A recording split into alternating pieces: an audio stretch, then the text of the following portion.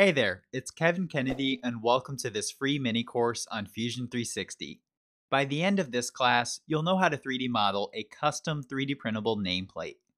You'll learn how to use the box command, the text feature, a three-point arc, and how to use the sweep command. By the end of this class, you'll have built your very own nameplate, and we'll export the Fusion 360 file as an STL file for 3D printing.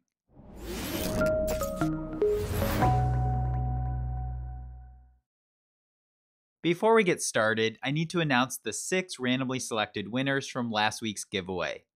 Congrats to the following winners. The grand prize goes to Andre C. The two second prizes go to Derek Spear and Mario Vada.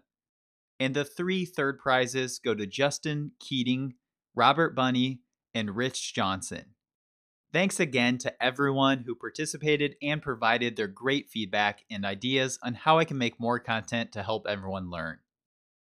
To get started with this video, we'll first want to save our design file.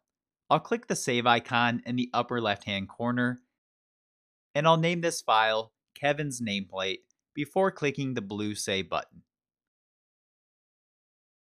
Fusion 360 offers several 3D features that help us quickly recreate basic 3D objects.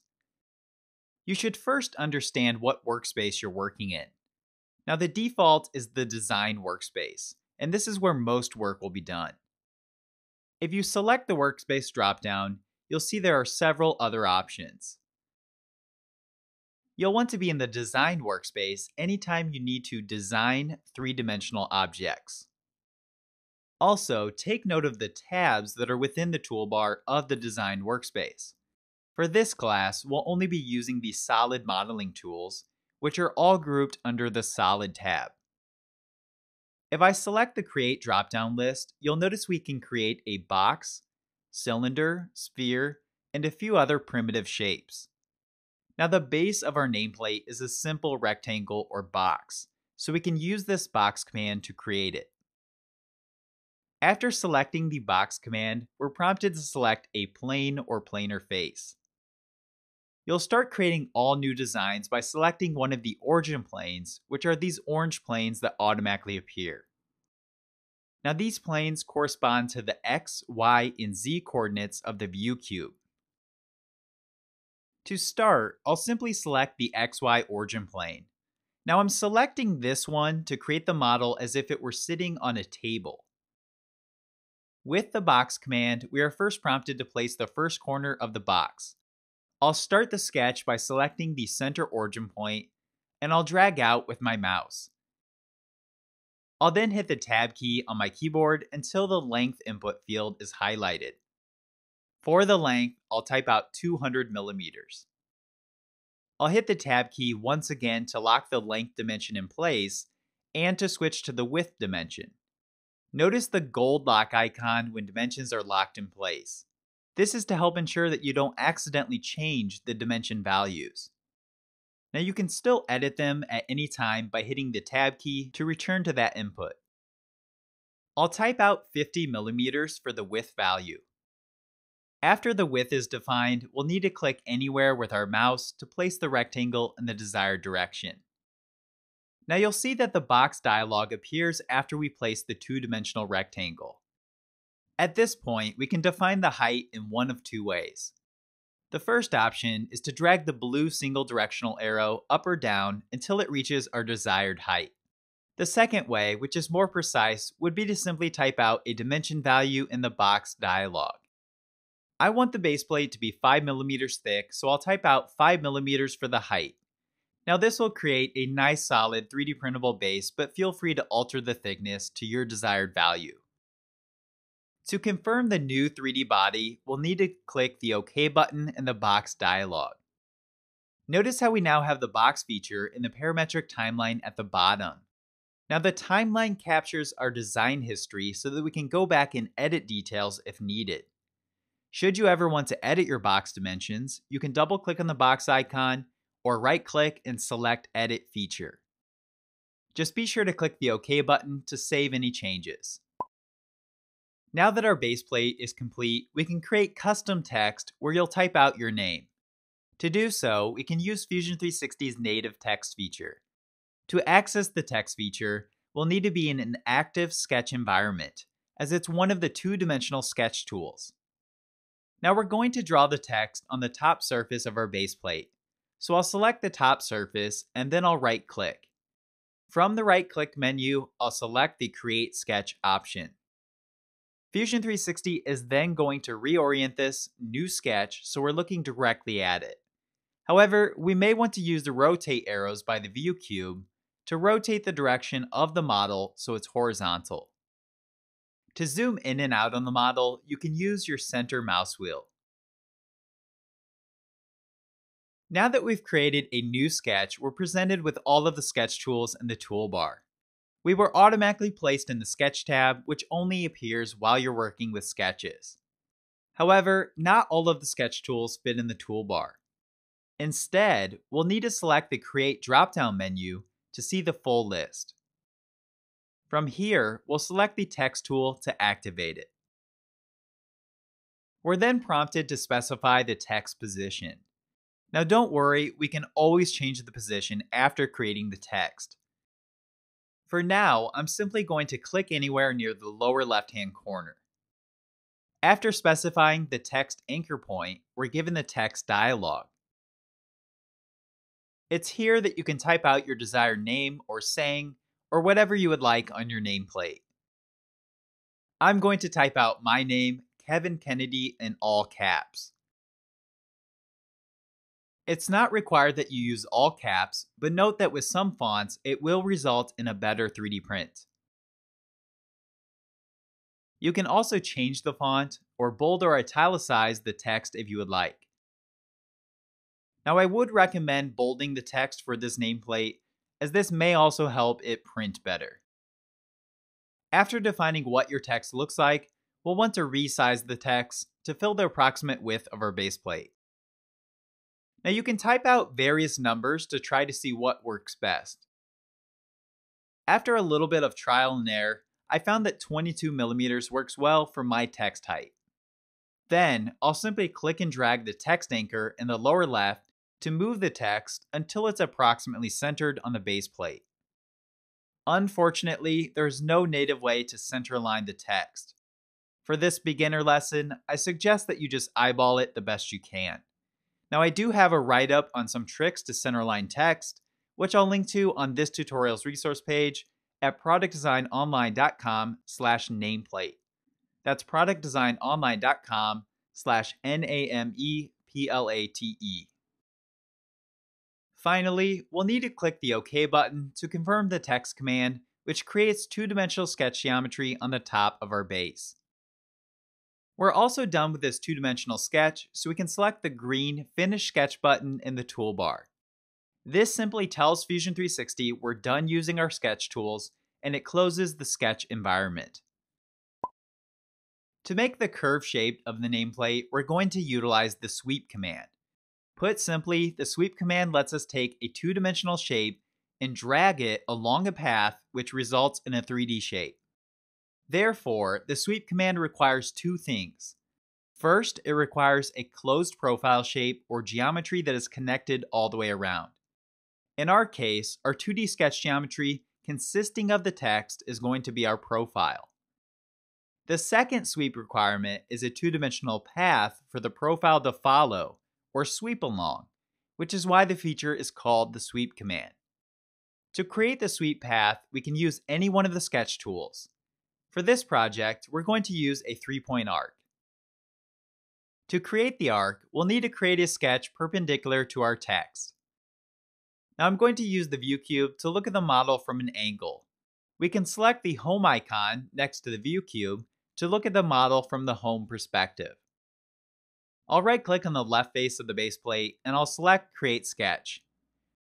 Once again, Fusion 360 will reorient the face and help us out so we're looking directly at it. You'll want to use your center mouse wheel to zoom in so the model fills most of your screen, making it easier to work with. Because we're in an active sketch environment, we're once again given the Sketch tab in the toolbar. Now I don't see the arc feature in the toolbar, so I'll select the Create drop-down list and I'll select the Arc flyout folder. From here, I'll select the three-point arc option. Once the three-point arc is active, we'll need to define the first point. Now I'm going to click on the edge of the base plate where you'll see the square appears, indicating that this will snap into the corner. For the second point of the arc, I'm simply going to click anywhere to the upper right. Then, for the third point, I'll click somewhere in the middle where the arc results in a smooth curve. Remember, we can always readjust the shape of this arc later on if we're not happy with the outcome. For now, let's select the Finish Sketch button. Before we move on to create the sweep, please pause the video and take a moment to answer this question by commenting below, what's one thing in Fusion 360 that confuses you? Once again, I'll select the home icon to view the model from the home position. We're now ready to use the sweep command because we have the required profile shape and path. The sweep command can be found under the Create drop-down list while in the Solid Modeling tab. You'll also find all of the commands via the Shortcuts box, which is activated with the keyboard shortcut letter S as in Sierra. Simply type out the command name you're looking for and select it to activate it. Now you may have noticed that there were three sweep commands in the Shortcuts box. For this class, you'll need to select the one with the blue icon which means it's one of our solid modeling commands. The other colored sweep commands correspond to functions in other Fusion 360 environments. Once the sweep command is active, we'll need to first select our profile. In our case, we need to select a letter of the text, which will select all of them. You'll then see that we can switch to the path selector by selecting it in the dialog. For the path, I'll select the arc geometry. Lastly, we can define the sweep's appearance by defining how far along the sweep follows the path. It defaults to the entire length, which is why the distance is set to 1. Now we can change the distance value in the dialog, or we can drag the blue single direction arrow. I'm going to adjust the distance until about 0.7 so the text remains angled, and then I'll click OK. This is to ensure that our overhang can be 3D printed without using supports.